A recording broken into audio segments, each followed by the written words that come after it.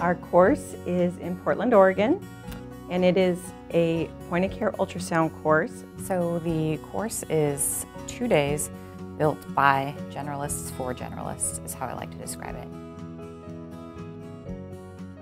So we are going to cover all of the basics, including heart, lungs, abdomen, aorta, and then the second day we'll split into inpatient and outpatient.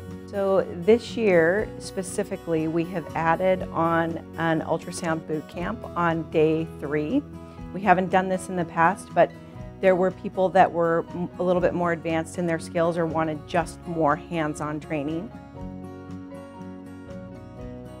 So we have the benefit of being within a simulation center at a university.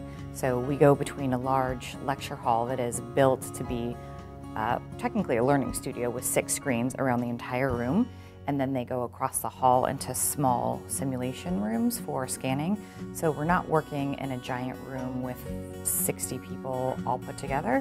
Um, but being able to work with experts in this field and to get that hands-on training and someone to help guide you through those, especially if you're a novice, um, I think that that's an invaluable way to spend your time in your CME.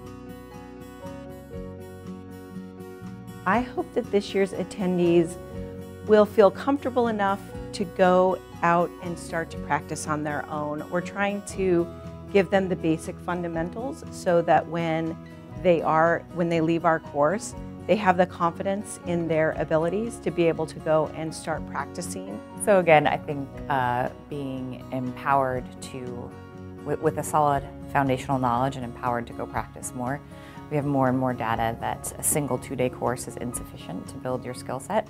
And so we want people to walk away with all the skills and the knowledge to go practice and build, build their skills and actually change their practice.